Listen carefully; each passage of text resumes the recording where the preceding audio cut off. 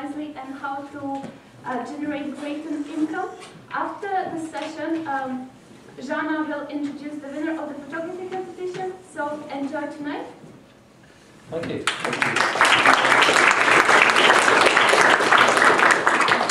So good evening, uh, ladies and gentlemen. First of all, can everybody at the back hear me? Do I? Yeah, that's good. It's good. If you fall asleep, I know I'm, I'm, I'm getting there. Um, thank you so much for inviting me along tonight. I looked with horror when I saw this poster. Learn from the, the best. I'm going to put this on social media tonight because I know everybody who knows me is going to say, What? You're kidding. Invest wisely. Generate greater wealth. My goodness. we, we try, we try. So, ladies and gentlemen, tonight I'm going to tell you a little bit about my background, where I came from, how I got involved in business, how I grew a business from very small beginnings to uh, selling that business in 2012, and kind of what I've been doing since then and the new businesses I've been getting involved with, and probably more importantly, just to point out one thing to you that I was one of you back in 1985. 1985, I went to Edinburgh University and did a business and law degree. So I guess I thought to myself, my goodness, I wish entrepreneurs came and spoke to me when I was at university. I had these lecturers who talked all these theories about business. And it's great to hear from somebody who's kind of done it and, and you know, and I'm going to talk about some of those key things that you are learning in the classroom and how they relate to actually what happens when you actually run a business. And so I'm going to talk for maybe 30 or 40 minutes. Um, what I then want to do is open the floor to questions, and I love questions because that really gets me going and it makes it a little, little, little more interesting. So please feel free at that point to ask, ask what you will. So, my name is David Sands. Um, I was born in Kinross-shire, um, which is just north of Edinburgh, and I lived literally above a family shop in a little village called Glenfarg. So, like Lady Thatcher, I was born and brought up above the, the shop. And I guess, like a lot of entrepreneurs, um, my dad was a lot more than, than just a shopkeeper. He was and still is an entrepreneur. And so, you know, I was brought into, I was the oldest of the family, there's four of us, and uh, it was very much a family business. We moved to Kinross, which was only five miles away. It seemed a big trauma at the time when you're five years old. But we were brought up in the business. So my dad had all sorts of adventures in being an entrepreneur and money-making schemes when he was younger, and the family were dragged into it. To give you an example, when I was about six years old, I used to go and help pick Brussels sprouts because my dad decided there was a market in Brussels sprouts. Oh God, there wasn't. There wasn't a market in Brussels sprouts. It was a complete waste of time. But before school, we used to go and pick Brussels sprouts, which you could then sell in the shop. What I will say about family businesses and small family businesses are you have to work very hard, um, really hard. And, and I guess from an early age, I would be watching what my parents were doing and what they were doing. And, and you know, we talk about work ethic. Um, I really do believe in that very strongly. Uh, there are few, few people who are successful in life uh, unless they work really, really hard at it. And we'll, we'll talk a little bit more about that. So, when I was about 11, 12 years old, my dad said, right, you're having enough fun now, it's time you came and worked in the shop. Uh, my first job, working in the shop when I was 12 years old, I used to bag potatoes. They used to come in in great big bags from a, tra a trailer, a tractor trailer, brought in, and I used to bag them up and, and we would sell them in the shop. First job. Second job was mopping a floor. Um, and it, oh, this is important. Learning to mop a floor is important, uh, as I will tell you later on in the story. So by the time I was 16, my dad was very much involved with me in the business. He would discuss things with me. He would say, we're going to do this, what do you think about that? I was running shifts in, in the store. The store was a very successful store in Kinross. It was one of the best, if you like, independent retail uh, food stores. Um, it, it was going great. Um, round about 16, I think I probably would have left school if I'd had my way, to be quite honest. Although I was doing okay at school, I was never that interested, if, if I'm really honest. If I'm honest, round about 16, my ambition was to make a lot of money. And I, I say that because I'm not sure it's a really popular thing to say nowadays. It seems, oh, that's terrible, and all this food banks and all that kind of stuff. Actually, when I was 16, and for many years after that, my ambition was to make money. I make no apology for it. That's what I wanted to do. I was really clear on that. I wanted to make a lot of money. So just bear in mind that that's sitting there. And I struggled to see what going on to further education was going to do other than hinder me in getting on with making money. My dad was good though. He said, no, go, go and learn somewhere else. Go and take some time, enjoy life for a few years.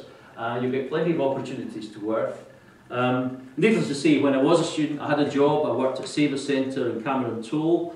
And uh, obviously, the, the, that, that was a, a a joint company, Sainsbury's and British Home Stores at the time. And I learned an awful lot working there actually as, as a student. Um, but I got my degree. Uh, I did three years. No, I didn't do an honours degree. I, by the end of three years, I had absolutely had enough. And I think university had had enough of me as well. And it was a good parting of the ways. so what I did then was I joined uh, Sainsbury's as a graduate trainee. I went down to London and I guess that, to be honest, is where my education re really started. And I got to the store, and you can imagine stores in South London, and London in general, you know, I walked in thinking I'm a graduate, you know, this is good. And when I walked in, the first thing I met the store manager, and he said, What are you doing here? I said, well, that's what I was told to. Well, that's what I was told to Well, he said, I don't need a graduate. Eh? He says, you're completely useless to me. Do you think I've got any time to show you what to do, etc., etc.?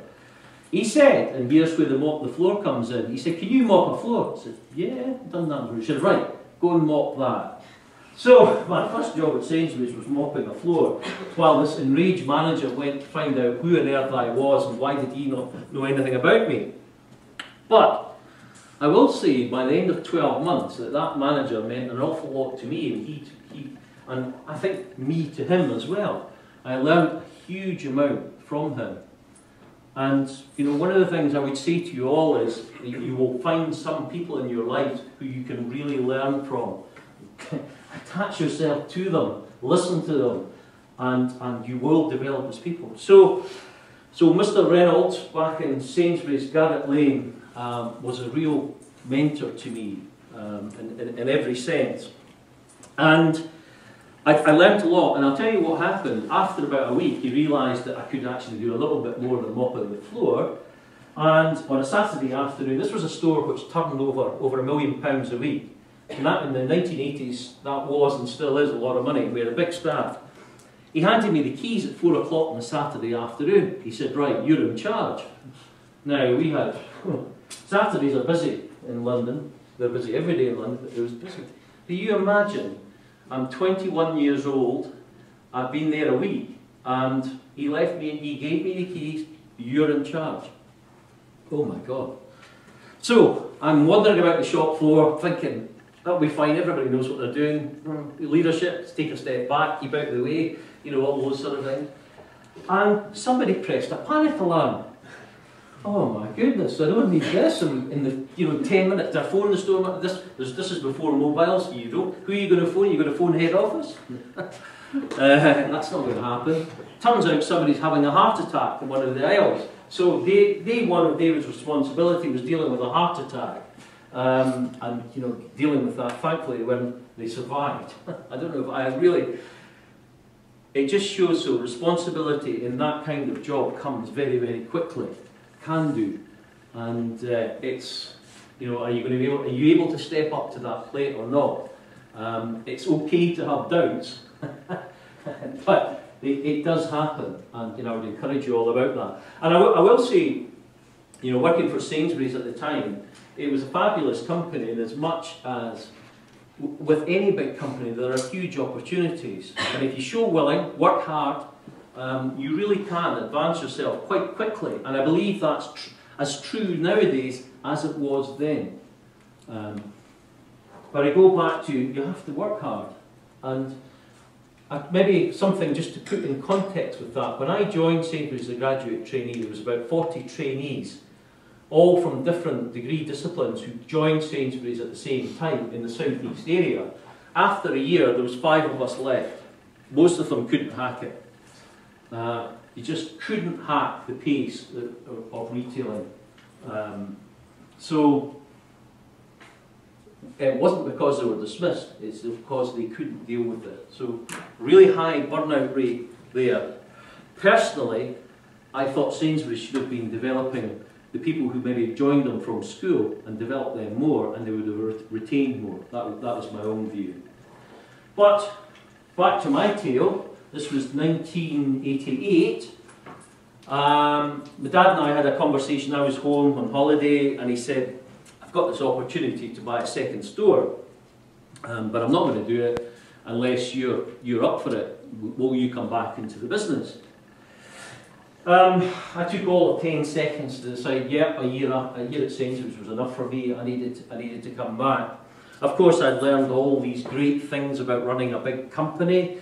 Uh, Sainsbury's had, we had to learn manuals as part of our graduate training. They had over 40 manuals. that were all piled out in the, sto in the store manager's office, all lined up there with all the processes and procedures. And as a graduate trainee, we had to learn these. So I came back filled with all these ideas about how to run a big company um, into a very small company. We had the one store in Kinross and we bought a second store in Methilhill. This was a convenience store. It was doing something like £8,000 a week. When I think back, I think, why, why was I doing that? Why? I, I, it's just one of these happy coincidences. At the time, I thought, what on earth are we doing here? Why are we taking on the small store? Because my idea was to operate bigger stores, because that's, that was what I, I felt more comfortable in. So, we took on the second store. I was filled with manic energy. I really was. I may not look it now, but in my 20s, I really was quite energised. And uh, I'd be working long hours every day. And you know, in that first year, we got that, we doubled the sales in that store. Tremendous. So, as, as is common in small businesses, the accountant takes your book, books away. This was the case in the 1980s. And a couple of months later, he comes back with the results. You, of course, have no idea how to, what the results are because you're so busy running the business. And to my absolute horror, I discovered that indeed was the second store not only we were losing money. We were losing money. Having this whole effort, we doubled the sales, and I was, as far as I was concerned, we hadn't increased our costs particularly, and it was profitable before we bought it. And so, ladies and gentlemen, I, I discovered a really valuable lesson, and something I would suggest you all might want to listen, particularly if you're going to run your own business. Um, and that is that You have to get control of that business. You have to know the numbers. You have to know where you are every week, every month. You've got to know these things. You would not believe the number of businesses out there who don't do that. Uh, if you don't know anything about accounts, make sure you get on a course and learn the basics about it. I can't stress that. Please, you don't need to learn all about the dreadful accounting conventions and standards and all that nonsense. But you do need to be able to look at accounts and make sure, one, you're making money, and two, you've got cash. I know that sounds really simple. Again, cash will come back and borrowing will come back. And I'm going to tell you about some of the details there. So I discovered to my horror, this store in Methilhill that I doubled the sales in and put an awful lot of effort in, wasn't making any money. We had no systems in place to identify why we weren't making any money, and a lot of angst and heartache, eventually we discovered that the person I'd appointed the store manager was stealing, stealing from me big time. I reckon she probably took about £50,000 in that year. Um, and you might think, how on earth could somebody steal £50,000? Well, the answer is when you don't have systems and controls, quite easily, quite easily. We're a cash business, we were taking in about £20,000 a week. It's quite easy if if you're not under, if that system is not under control, if you're not under control. So, I really had to sort that out and probably spent the next six months after sacking the store manager uh, working even harder, but starting to introduce financial controls to the business. And that, that was really important. And so we, we, we, we, we, we, we marched on, we opened our, our, our third store and fourth store, and then something really, really quite significant happened. 1992, uh, you know, things were going well. Um, they had the four stores operating, and one of the multiples announced it was opening a store next to our main store in Kinross. Now, that was a major thing, thing for us. Um, you know, you suddenly see your whole livelihood going. You, you, actually, you imagine the very worst. Before it happens, you imagine the very worst. You imagine that that store will have to close. And suddenly we're looking at these numbers. Um, myself, my dad, my sister, my mum, we're all in the business, all getting a living from that business. Up to that point, quite a good living. And uh, all of a sudden, that's all going to be taken away. Ladies and gentlemen, that's competition. And when I, at, at the time, I was kind of with all the other independent retailers saying, my God, it's terrible, it's not fair, this shouldn't happen, it's not right. And don't we hear that all the time from businesses who, who, are, who are having to adapt to new technology and new competition? And they all say it's not fair. Guys, get, get with it. This happens. And it was horrible this, in 1992 for months. I didn't sleep properly. I really was worried about it. Um, but I think looking back, it galvanised me. It made me realise I had to focus now on a business that had to be immune from the, the, the multiples as best I could. How was I going to tackle them? Because they weren't going to go away. We were going to have more of them. We were going to have more competition. How are we going to de develop a strategy which said, right, we're going to deal with this? And, and the answer was, we, we figured out that small stores actually made quite a lot of money. Small stores took their customers, usually from quarter of a mile radius, really small radius. Um, we discovered, because we started doing some market research, we've all heard of that. Well, I didn't, I was too mean to pay for it, to be honest, but I eventually did start doing that. And we discovered that these small stores, two-thirds of our sales were coming from people who lived within a quarter of a mile. And they visited the store four, four or five times a week. They were coming in almost daily to use us. They, were, they used the big stores as well, of course, but they were using us. And we found, hey, right, let's start finding locations. Maybe that, that there aren't stores there just now, and let's, but it's all about population. It's all about the population within a quarter of a mile. Now go back to, this is the early 1990s. There really wasn't people out there opening convenience stores.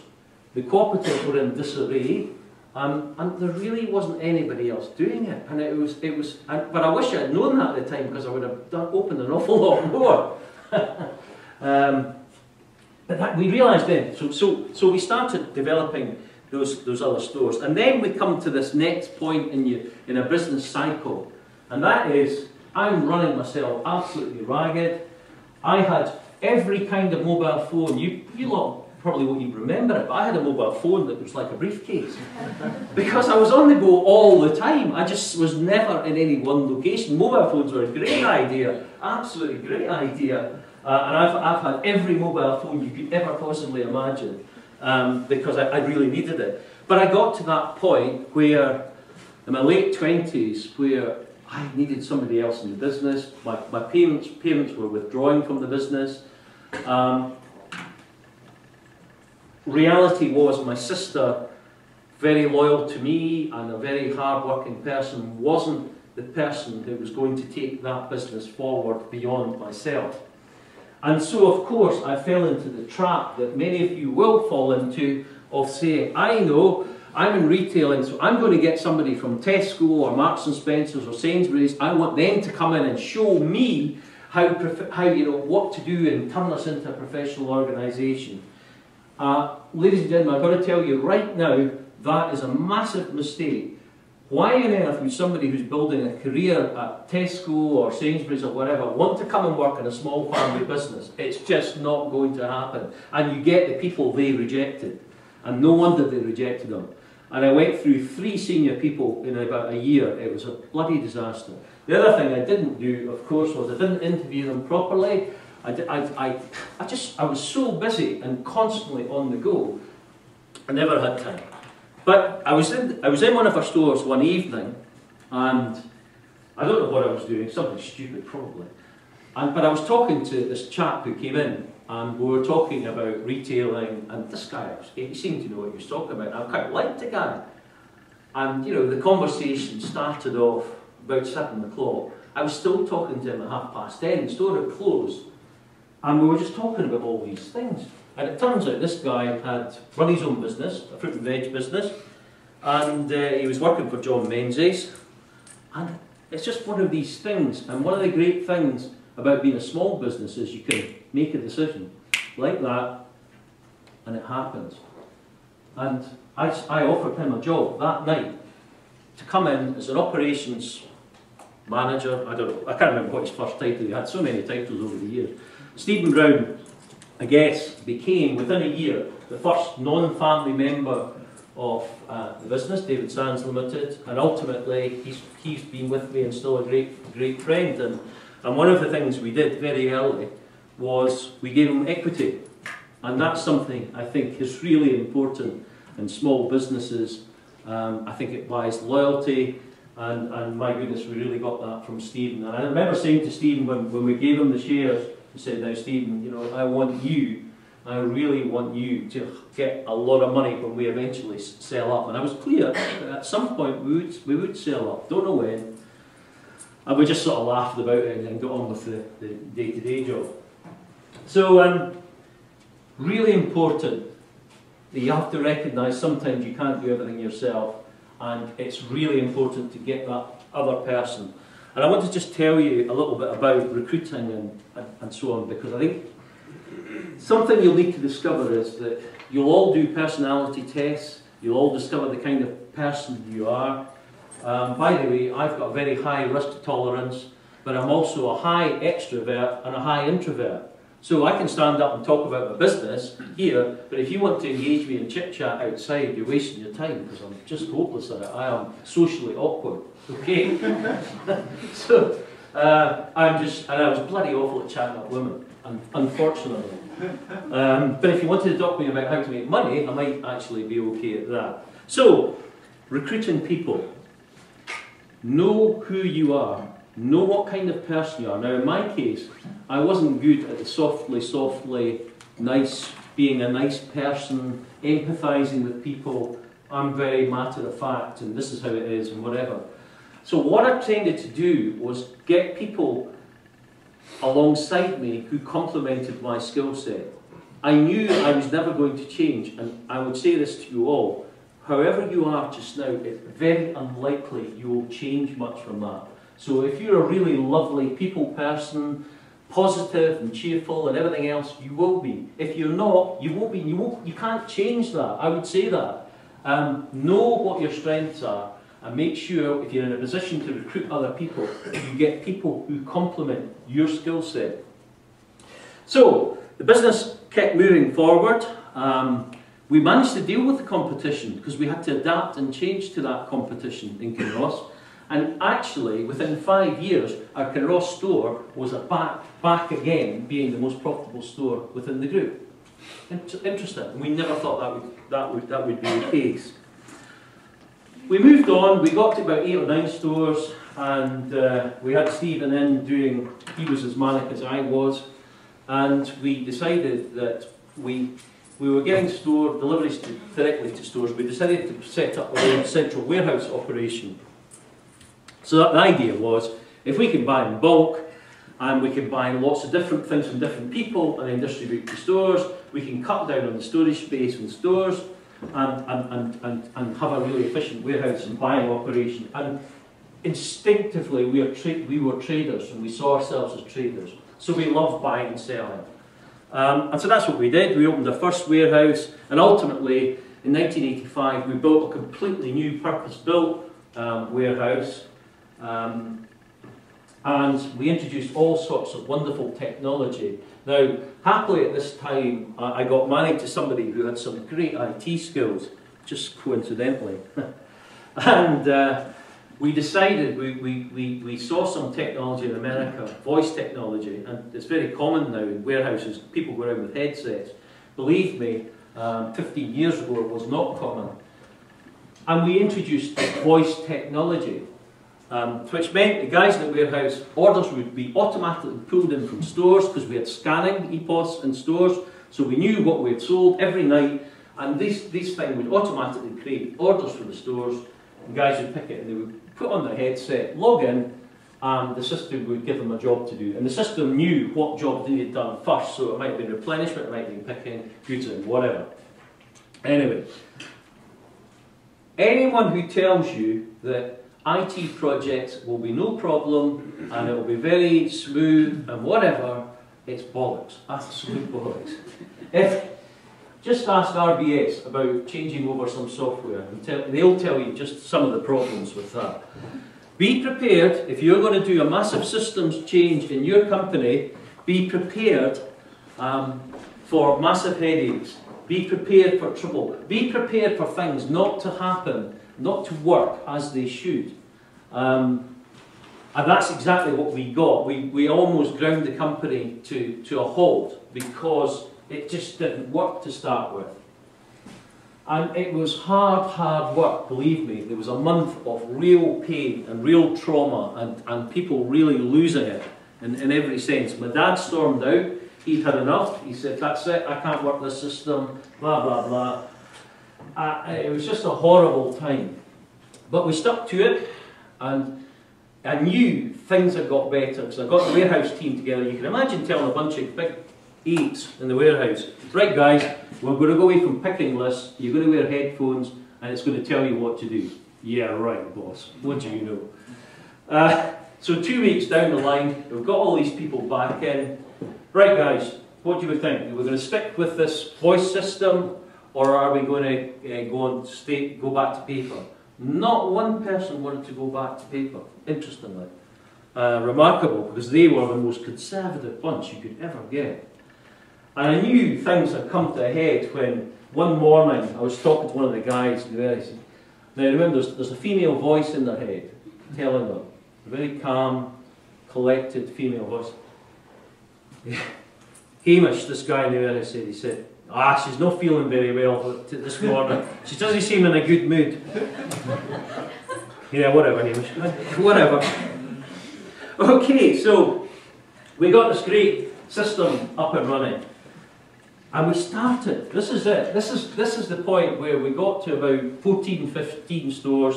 We're starting to make some good money, around about three quarters of a million a year. And uh, we had this idea that I, I, I, was, I was drinking heavily with somebody uh, one night who happened to be a management consultant. And he, he said to me, so what's your strategy? I said, strategy? I don't know. to make a lot of money. Yeah, right, and how are you going to do that? Well, going to open more stores. Yeah, okay, and how are you going to do that? And so we got through a whole bunch, he, he, went, he took me through the A to Z of, of strategy. and coupled with the market research we had, we realised that by this time there was other people coming into the convenience space. Tesco were moving in, Sainsbury's moving in, um, the co-op were really starting to get, get, get their act together. Convenience was a known space and an attractive space. And, and there, there was us sort of sitting there sort of with a vague idea of going to open more stores, but that was about it. So we did, we, we literally took our whole team away uh, for a couple of days and started to really talk about where did we want to go and how we were going to get there. And this was the first of my five-year plans. I was like Stalin, I've got a five-year plan. Um,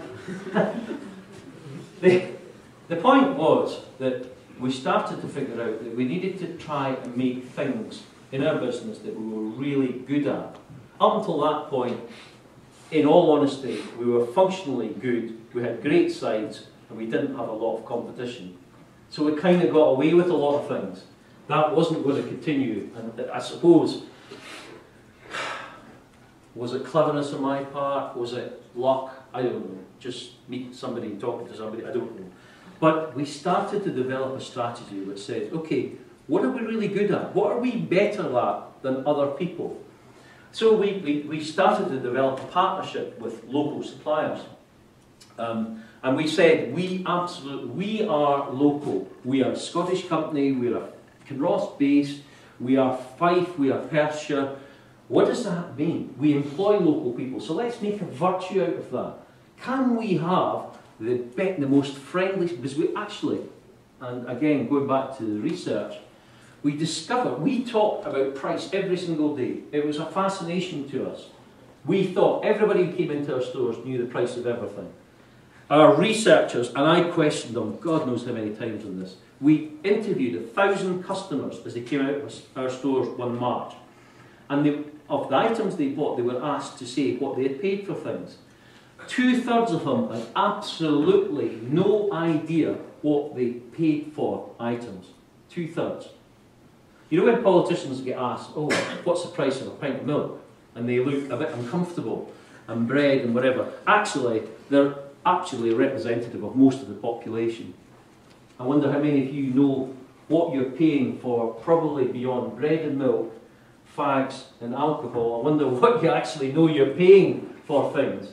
And the answer is actually two-thirds of you will have no idea what you're actually paying. And this was important because our focus needed to switch from price. We knew we needed to be known for value, but we also knew we had to be known for something else, something more important than that. So we, we discovered to our horror that customers wanted really good, fast and friendly service. We'd never measured this, we had no idea whether we were or weren't. So we really worked at this. We, we, we developed a customer care program. It was, we just invented it ourselves, but it was all about selling and, and, and talking to customers. Now that might seem very obvious, but at the time you, we had you know 500 people and we had to get them engaged in this. So every time a customer came in, they had to speak to that customer and not have a nice day, that kind of chat. It, they had to be natural.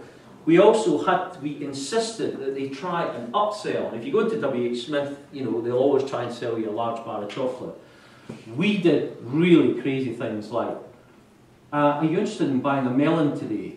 Now, I suspect not many people came into that store saying, I'm interested in buying a melon today. But we made the virtue of trying to sell really crazy things. Now, why did we do this? Well, one, it was a bit of fun. Two, we had competitions running all the time. But more than anything else, we were trying to create a culture of selling and having fun selling. And I think sometimes having fun is lost in business um, and I would say to you all that it's okay to have fun in business. Actually, it's a much more positive way to do things. So we got really involved in this upselling competition. And my goodness, sales started to really grow. We entered the competition and discovered, much to our amazement, that we won the title of the UK's friendliest stores. UK, class.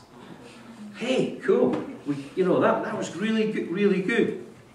Uh, so, we've started to develop some key strategies about friendly service, uh, local products, and, um, and this culture of selling in the business. We, we also introduced a bonus scheme at that point. We had bonus schemes before, but they were a bit erratic.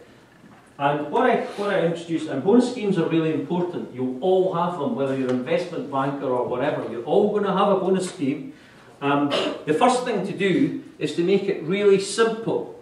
Everybody can understand it, and it's measured every month. What we did was everyone in the business benefited from that no matter what level. Yes, if you were a store manager, you would get more of a bonus than somebody who was a supervisor, but the fact was you all had the same targets and everybody understood this. There was a common purpose, common purpose.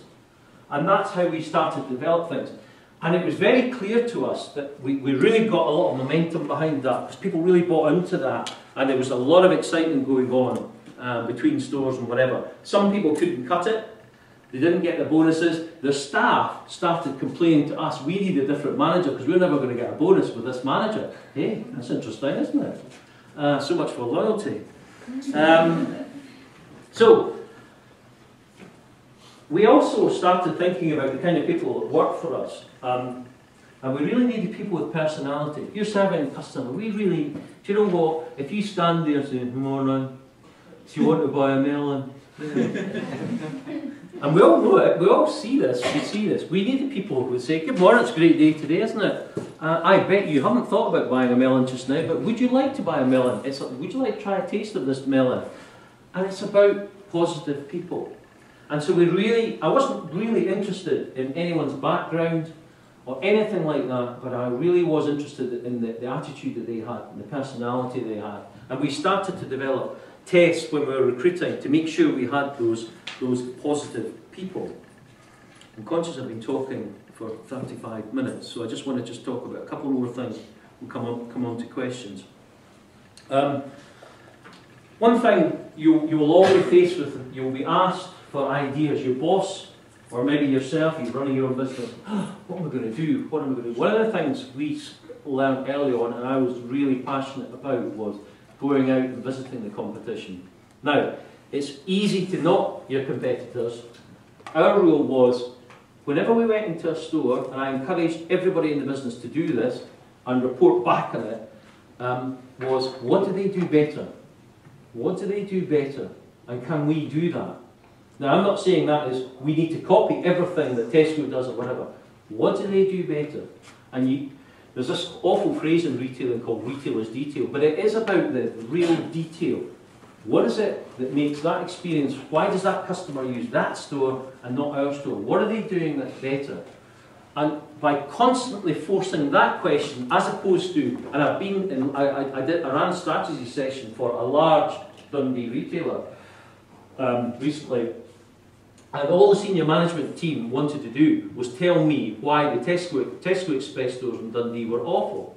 I said, well, if that's the case, guys, they're beating you 10 times in turn turnover profitability. So, you know, I think you're a bit delusional if you think they're not doing a better job than you. Um, and it's easy, but it's easy to become complacent, hubris to develop. Now, I wonder what conversations Tesco management are having just now.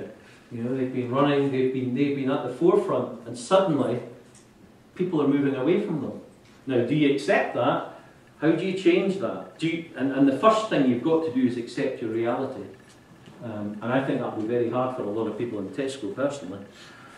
Um, so get out, look for other ideas, talk to people.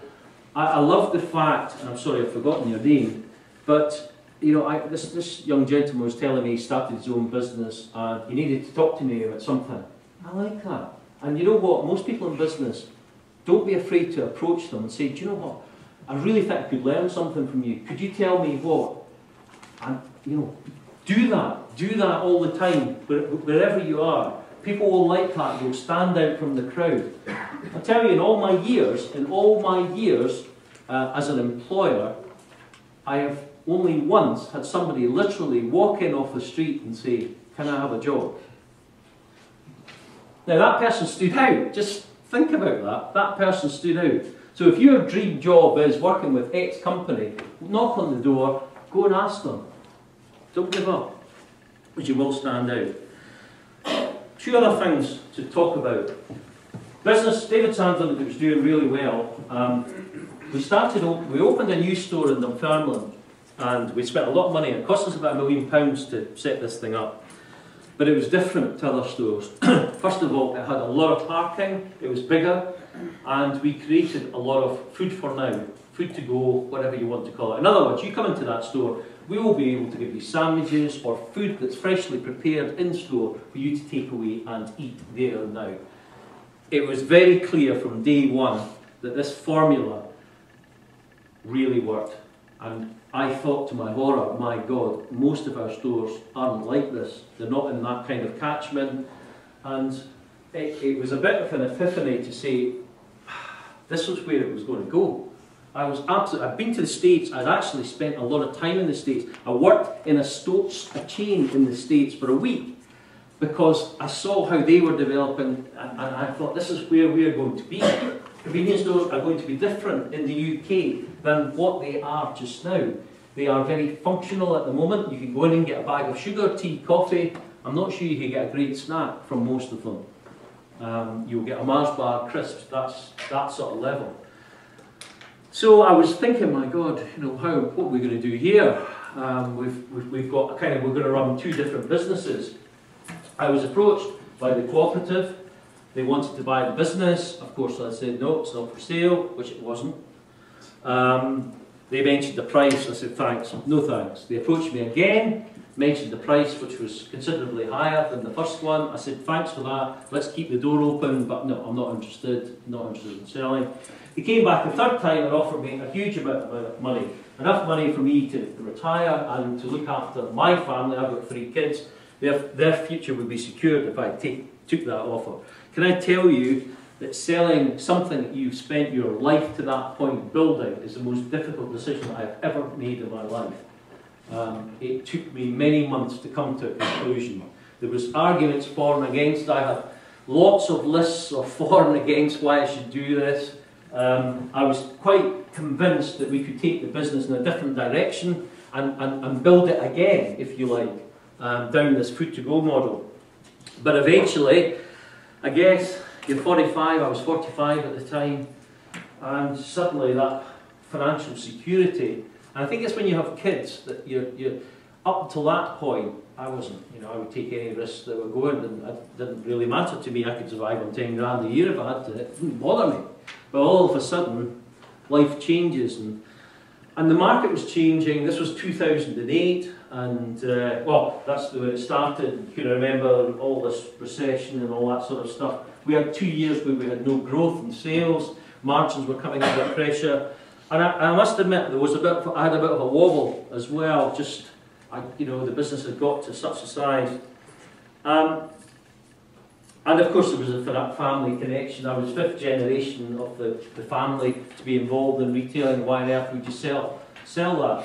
So, a really difficult decision. And as ever with these things, there are right and wrongs. I took the money. uh, and it's a funny thing. Um, I went through six months of dealing with lawyers. I started to speak like a lawyer. Oh, God help me. I really did. I used to start talking about subclause 4, subsection 6, all that sort of nonsense. And then once we got through the, the agreement, um, the, the, the, deal was referred to the, the, the OFT.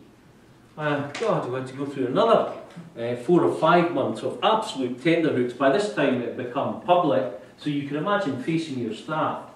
People that I had worked with you know, all my life and, and, and you know, I, I, luckily we put in some provisions so people, long-serving staff, were rewarded as a result.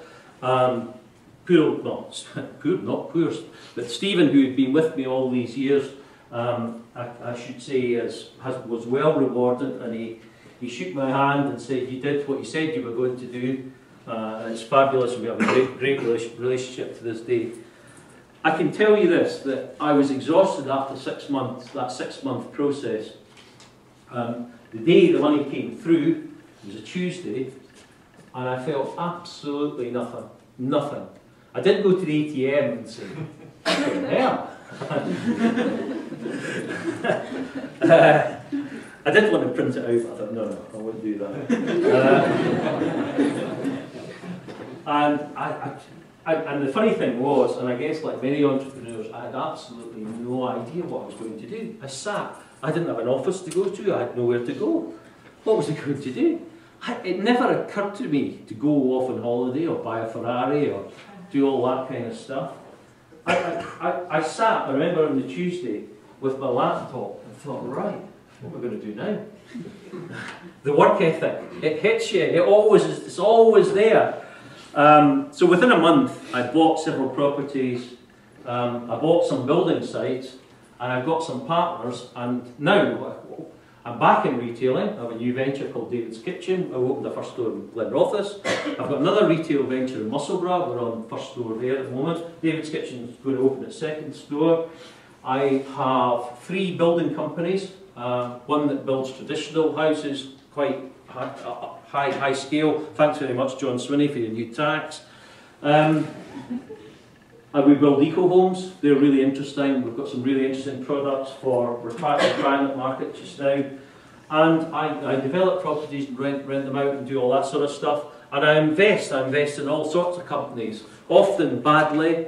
Uh, I've you know made a few mistakes there with, with, with startups and all sorts of stuff.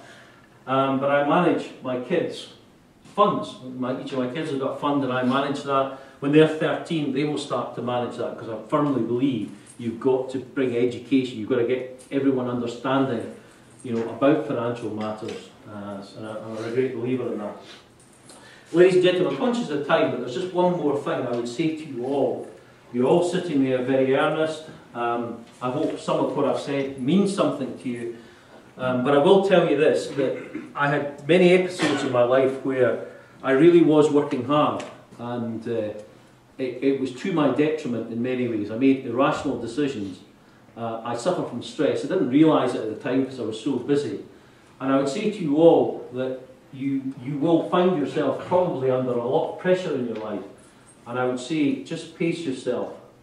And if you think you're under, if you think you're starting to suffer from stress, shout out and say something about it, um, because most people don't, and it can really affect your judgment. And I would say, look after yourself, um, take some exercise. You don't need to go manic at the gym, but you know, walk to work, do whatever it is. I'm not going to say don't drink, because uh, that's not going to happen, is it? But you know, look after yourself and don't don't turn up at work with horrendous hangovers because you won't perform. You simply won't. The, the thing about my age is I know that now. Um, trouble is, in my twenties, I didn't realise it. The fact that I couldn't perform wasn't was nothing to do with it. So I just say look after yourself. Try and look after what you eat. Um, try and make sure you sleep well and you will perform better and you will enjoy your lives better because I see too many of my friends who work exceedingly hard burn out, absolutely burn out. Um, and I really would, would urge you that, you know, by all means work hard, but you become, you know, if you're at the top of your profession uh, in business, you are that, you think about an athlete, you are in that person. Why the hell would you not look after yourself? Because you will not perform otherwise. Um, and stress can really, really hit you uh, at times. So, one other thing about business and right through is uh, just have a common sense approach. Really, businesses are about looking after customers and looking after people, and don't lose sight of that and all the stuff you do, studying management, whatever, don't forget we need common sense. And you know, the truth is, the banking crisis, if only a few people in the banking world had a bit of common sense, we might not have got into the mess that we had. If you get involved in something you don't understand, get out of it. I was asked to take, I was on a board for a while of a company, it was a training company, and their money used to come from government funding. And I couldn't understand it. After three months, I still could not understand this company. It bamboozled me. And I eventually turned around to them and said, guys, thanks for the opportunity. I'm sorry, I don't think I can add any value here because I just do not understand it. Well, it turns out that the chief executive was embezzling funds and he was, he was causing this huge confusion in the numbers. Thankfully, I was well out of it, and thank goodness, because it could have tarnished my reputation. Don't get involved in things you don't understand. It will. It, it just, just always ends in tears. Um, so that's a little bit of, of my life to date. Uh, I've gone over things, a lot of things, uh, very quickly, but I have tried to emphasise some of the points where I probably went wrong in life and some of the lessons that I've, I've learned. But of course, um, I'm very interested to hear if you've got any questions because that probably generates more debate. So I open the floor to questions. Yeah. Yeah. Yes. No. No, perfect. Um, I, I made a note when uh, when you were talking on, in your early days when you were working that year in for Sainsbury for uh, for a big company sort Yes. of, and then you turned back and start developing sort of like a small shop. Yeah. Um, I wonder, you know, like because for us as students, there's always that fork, you know, that decision: are we going to first work and co- even if we want to create our own companies, our Yeah. startups, there's this fork decision: like, are we going to commit ourselves for several years and work in a big companies to Yeah. get that big company experience, or start straight away and learn as we go? Yeah. What was the bigger benefit? For example, that one year in a big company because eventually you, you went and work on on something which has a different, I would say, like management strategy if you got a small team Yeah. manage. Yeah. And- Well, yeah. Okay. no, and just, um, or if it was like, for example, that person eventually like uh, who would start talking to you about the strategy who was actually like just there and Yeah. Um, I think it's a great question. The answer, uh, uh, answer comes in many parts. What I would say is, if you really want to make a lot of money, you've got to own your own business. Uh, because if you work for somebody else, then the shareholders and others are going to be making that money. Um, but you can learn an awful lot from big companies, an awful lot. Um, you can build a network. Some people simply aren't entrepreneurs, but fantastic managers. And you need to get to that point where you know yourself. What are you the person? Are you a risk taker? Are you comfortable with that, or do you prefer the security? But by the way, what's job security nowadays? You guys will have at least 16 different jobs on average before you, you, you retire. And you'll be retiring in your 70s, uh, thanks to the current generation who are spending all your money. You're going to be retiring in your 70s. So you're going to have 16 different jobs. So I don't think this idea of you know going to one employer is I don't think that's going to work anymore. I think you may be more comfortable in a co- corporate setting because you don't actually you don't want to take such high risks, and that's great. You could do really well. The, the risk taker who goes the other path, maybe after spending a few years in a bigger company, will have a, a roller coaster, a roller coaster ride.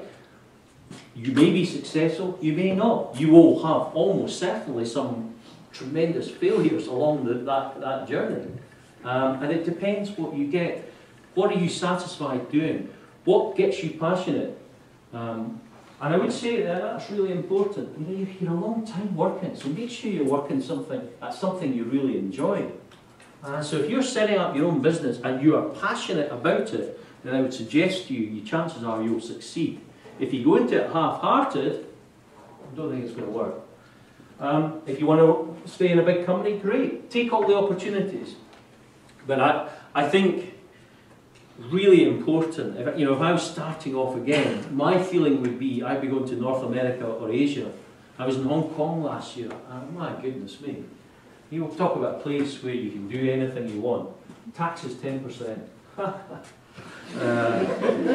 but don't, don't fall sick, okay? Because there's no benefits, there's no welfare, there's nothing. Uh, but by the way, Hong Kong's had the best economic growth of any country in the world over the last 50 years. Hmm, that gets you thinking, doesn't it?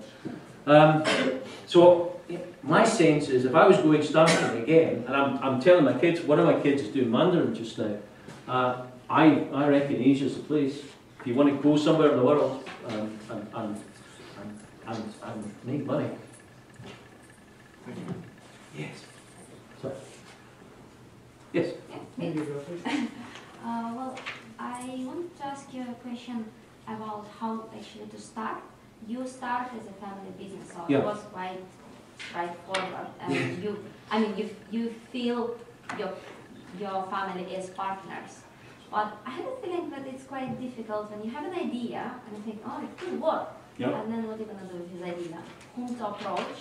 Where to find partners? It feels like you're alone in this field. So I'm, I'm telling you about that Tuesday, and okay, I had plenty of money, but it was a long time, the Tuesday after I sold my business, it was a long time since I'd set up a company. And I was sitting on that Tuesday saying, right, uh, I kind of want to do a property business. How do I do all that again? And I, I literally had to sit down. with yourself, you know, what am I going to do? How am I going to do it? And it's about doing all those little jobs and, and building some momentum. And the hardest thing is sitting in a room. I remember a guy, a Dundee guy, who, who sadly died, a guy, Eddie Thompson. Eddie Thompson used to be chairman of Dundee United. Um, Eddie left the security of a well-paid senior job with a Dundee wholesaler called Watson and Philip, not around anymore, it doesn't matter. And he, I remember him telling me he set up a convenience store chain. We were kind of competitors, but we were quite friendly. And his first day, he had no money, no money, just an idea. He maybe had about 50 grand. Uh, but building a convenience store, you're not going to get very far with 50 grand. He sat, remember he, he hired an office in Broughty Ferry and he sat at a desk and he thought, my God, what have I done? I used to have a secretary, I had PAs, I had this, I had that. I'm on my own. And he sat there and he had a telephone and a pad. And within 10 years, he sold that business for 20 million pounds. Now, it's hard, but you've just got to get on and do it. Just got to do it. Just, if you believe in it passionately, it'll happen. But you'll get lots of rejections. Um, you'll get lots of rejections from banks and investors and all that sort of stuff. I go back to, are you passionate about what you do, or do you not really care? Because I'll tell you one thing. If I, if you stood in front of me, I would be able to tell in minutes whether this person was passionate about what they did. And most investors with money know that as well. So if you're passionate and you're determined, then give it a go. Give it a go. What's to lose? What's to lose? You had, sorry, you had a question, then I'll come to you. Sir. Yeah. How much time did you spend on research, on learning from other companies in order to improve your own? Yeah, yeah, a lot. The answer was a lot, but the answer is also not enough. Not enough. I would try and get out a day a week, one day a week. Um, and I, I, we, we really got into the research. It was, it was fascinating to, to, to read, you know, to, to look at the research, what, what our customers were telling us about. I mean, if it's your business and you're passionate about it, you want to know what your customers are, are telling you. And we, we ran focus groups and all sorts of things just about, you know, what are people saying? What do they like? What do they not like? But I, I was never afraid, not, well, being a shy person, it was a, you know, in my early days, it was all, I always found it difficult to approach other retailers and say, you know, we've got a problem with this. How do you deal with it? But generally, I found very early, people were always keen to talk. And I, I, I don't think, the only company, get this, the only company that refused to help me in 25 years was Tesco. the only company. Um, well, interesting. Interesting. Does that answer your Yeah. question? No, so, Yes, you've mentioned that you've recently started uh, three or four new businesses. yeah. And how do you make sure you spend enough time on each of them and don't lose focus on one of them? Maybe uh, you can focus on one specific business, it does well, and the other don't do well. Do you have four cell phones and make sure you keep one cell phone for each, uh, or you have lots of mediums that take care of I have a PA, for fairness, who came from my, my last, from David Sands Limited, who's been great. She, she sat at the other side of the dining room table for a long time. We built some offices beside my house now, and so, so she works for me. I refuse to get bogged down in detail now. I'm not interested, I'll, I'll be honest, you know. So I might have got bogged down in detail before, but somebody comes, if, if somebody can't explain something to me quickly, or write it down on one page, or sheet of paper, I'm not interested. Um, make it simple, and, and no, I'm not going to get involved in day-to-day stuff. So in the businesses that I'm involved with, I don't want in building. I am not a builder. I'm not a qualified builder. Do I want to hear about the virtues of aluminium gutters and plastic gutters? No, bloody don't. Uh, uh, do I want to know, are we selling these? What are customer, what are existing customers saying about the houses? Are they happy with them? Um, are we making money? So I try. So what I try and do is, I start with, I kind of like holidays now. I didn't get enough holidays when I was young, so I kind of do holidays now. Um, I like working three or four days a week, but no more than that. And I try and structure things so, yeah, what happens typically in businesses is sometimes a business needs a lot of time, you know, because something happens. And you, you have to get right in there and deal with that. But at other times, you agree something and you trust the people around you to get on with it. And you remember what you agreed, you make sure you've got good minutes and say, right, okay, we agreed that, have we done that? No, why not? and, and you have those discussions. But it's an art, and I'm not sure, I'm not sure I'm great at it. Um, but I, I, I try, I try and do the, the sort of people thing. So uh, my business partner in one of the bus- businesses, I tend to partner up with people who have the experience or whatever, and so I'll be doing the investment, and I, but I tend to look after the finances. Um, but this guy had gone bust in 2008, a property developer, wasn't unusual. I got him started again. Now, for him, when he sold his first house, that was the first house he had sold in four or five years. He'd been through a personal bankruptcy. I remember I, I said, you know, Colin, that's brilliant. You must be so proud selling that house today. Fantastic. And and, he, he literally burst into tears. Um, and and it was it was just you know it was a big moment, and I knew it would be a big moment for, for him. So it's sometimes about just that encouragement, that that that human touch, if if, if you like, um, that can that can be important. So I'm not sure I've answered your question because I ask my I ask myself every week, how am I spending my time? Am I, am I spending my time wisely um, or not? This idea that spending time with your family, more time with your family, uh, it doesn't work for me. If I'm really honest, I like my family very much, but do you know what? The idea of spending too much time with them, nah. I don't know they would want me to spend too much time with them either. So uh, the idea, the idea that I was going to sell the business and spend a lot more time with my family, no, that was that wasn't going to happen. I promise you, that wasn't going to happen. And anyone that says that, I don't believe it. Yes, sir.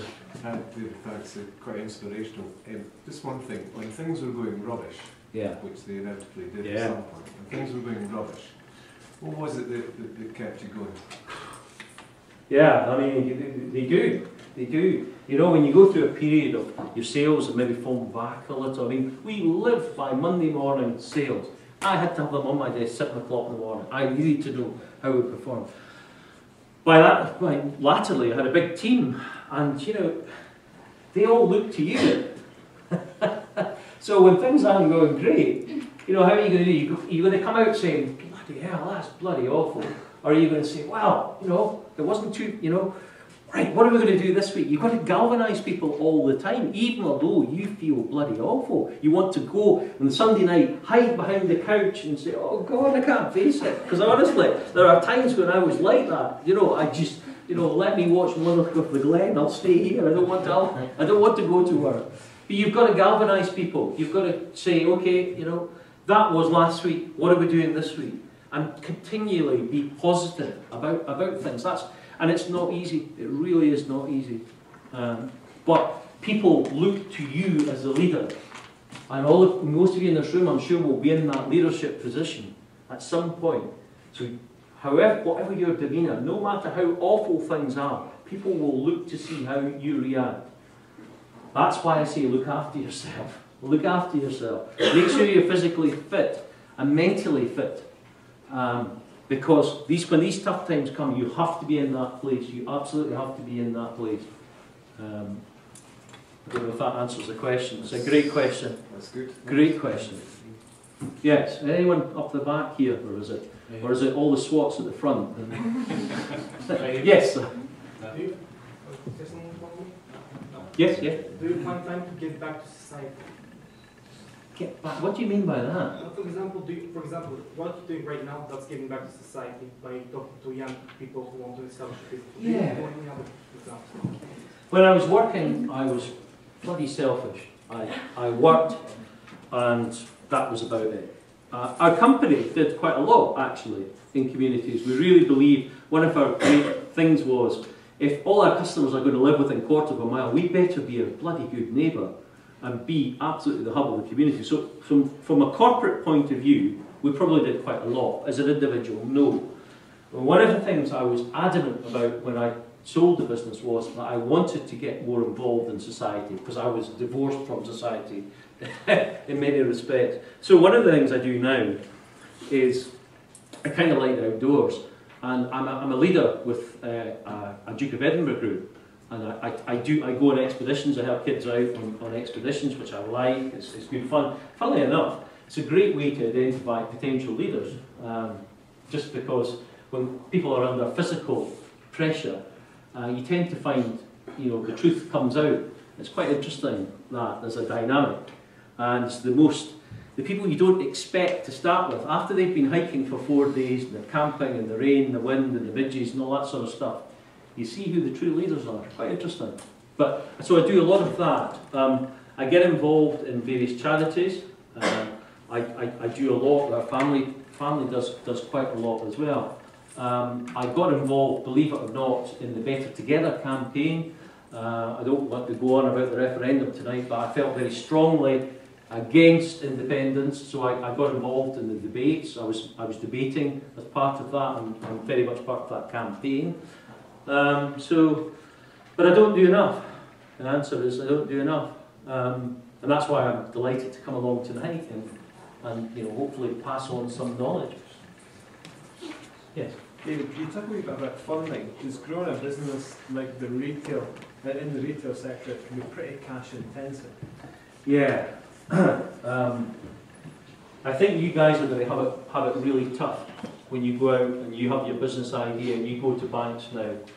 Um, there was a period um, 10, 15 years ago where it was quite easy to raise money. Uh, it's not easy anymore. It really is not easy anymore.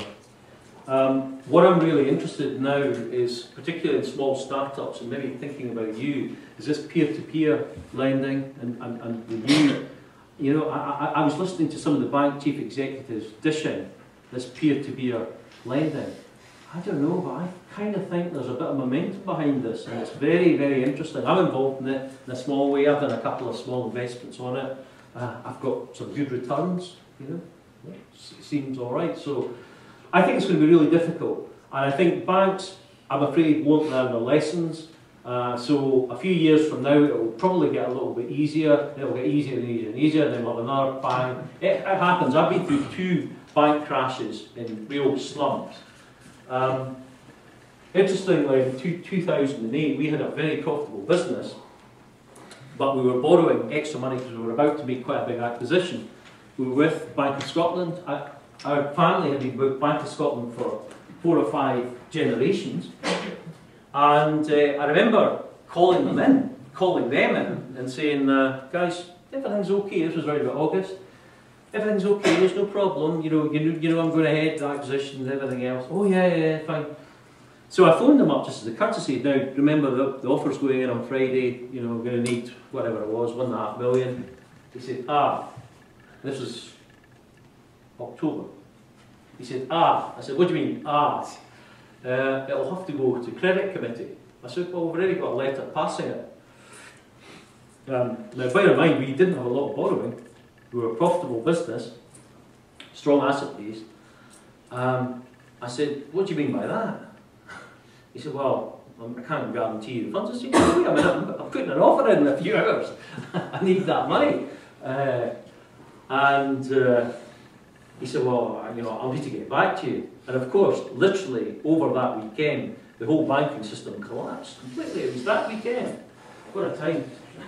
And I remember the next week I had to arrange, hastily arrange five meetings with different banks. I did a pitch to them all. Thankfully, they all offered me money, and I had to, I moved bank. So I was with Bank of Scotland all those years. That's it, wiped out. I don't believe you have long-term banking relationships anymore.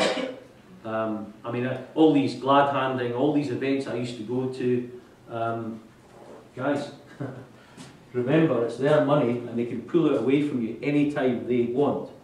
They're not obliged to keep your business afloat. And please remember that. It's their money, it's not your money. So don't think that your bank is a friend for life. That's how I was brought up. It's, they're not friends for life, they're friends for the minute, the time. Uh, you, there's, but the, the great thing is banking world changing. We've got peer-to-peer lending. We've got lots of angel investors out there. Some really good tax advantages for people to invest in startup companies, better than they've ever been before. Um, and we've got new entrants into the banking market. I bank with a bank called Handelsbanken. I've never heard of them. Four or five years ago, they've got 170 branches in the UK. If you don't know anything about them, read up about them. It's a fantastically interesting model, completely different to UK banks, completely different. Um, and guess what? When you phone them up, you speak to an individual. You don't speak. I hate call centres. And Handelsbanken, the Swedish bank. Handelsbanken. Really, really interesting model. Uh, great place to go if you're going to go into banking. Great place to go because you'll get real decision making quite quickly. Uh, it's not done by computer there. Really interesting model. So very difficult, going to be difficult, but lots of new avenues that are just starting. I have a feeling that peer-to-peer lending is going to be a really big thing. And I think a lot of you guys might benefit from that going, going forward, because I think you'll really struggle with banks. Are we, are we time, are we? Thank you for, the, for such a great talk. I hope that every one of you enjoyed as much as I did. Uh, here is a small souvenir from Enterprise Gym. I hope you will find it useful. Oh. useful. Thank you very much.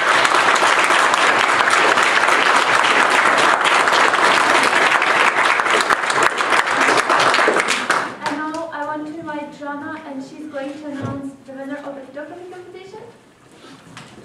Yeah.